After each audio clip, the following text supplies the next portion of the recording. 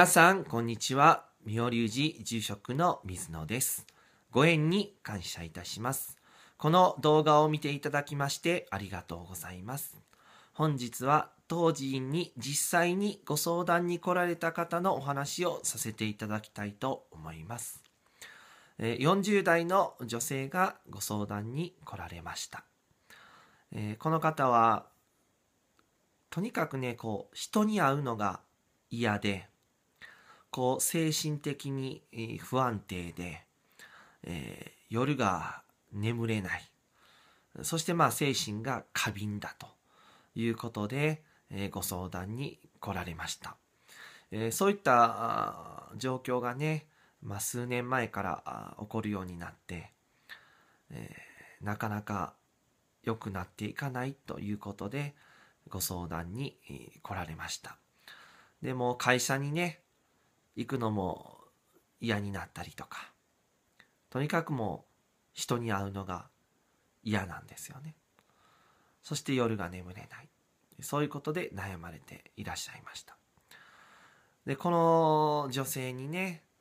一体どういうことがあって、そういった状況になってしまったのかっていうことを調べさせていただいたところね、え実はこの方には、妹がいてですね。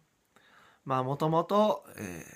元来昔からねあんまり仲は良くなかったみたいなんですけれども、まあ、数年前にお母様が亡くなられてねまあそれを機にちょっとこうまあ遺産的なことでね、えーまあまあ激しくまあ揉めたというかね確執ができてしまったみたいでえその妹さんの思いが生きようとなってね、えーこの方に来て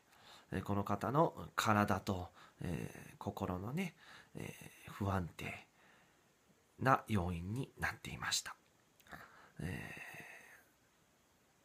本当にねあの人間っていうのは